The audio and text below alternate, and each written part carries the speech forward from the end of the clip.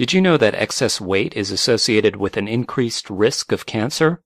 The Body Mass Index, or BMI, is an estimate of human body fat and is based on a person's height and weight. An adult at a healthy weight has a BMI between 18.5 and 24.9.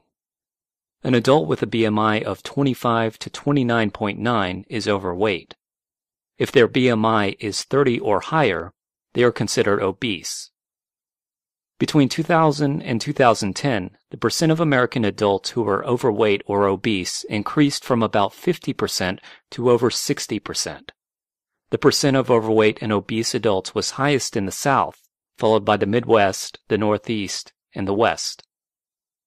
Research studies show that overweight people have a 13 to 18% greater risk than healthy weight people of being diagnosed with postmenopausal breast cancer, pancreatic cancer, or colorectal cancer. Compared with people at a healthy weight, those who are overweight have a 30 to 60% increased risk of kidney cancer, esophageal adenocarcinoma, or uterine endometrial cancer. For obese individuals, the risk of developing these cancers is about double that of overweight people.